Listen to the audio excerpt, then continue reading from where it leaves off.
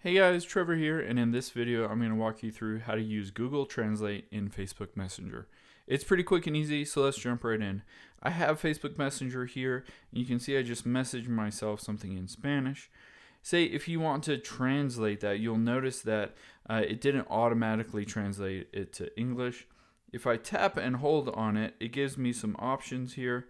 I can tap more and it doesn't give me any option here to be able to translate it. So it's not a built-in feature to be able to translate, you know, any kind of text within here, but we can use Google Translate to translate that. So all I have to do is hit copy here, so it'll copy that text.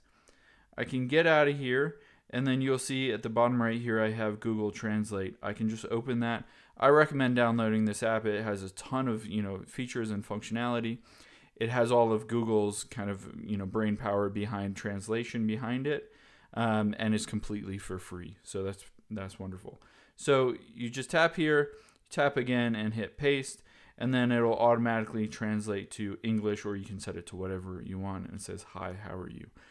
So that's it. It's kind of annoying that you might have to go back and forth to the two different apps, but there's no kind of built-in translation in Facebook Messenger at this point. Hope this helps. Let us know if you have any questions in the comments below. And make sure to subscribe. Thanks.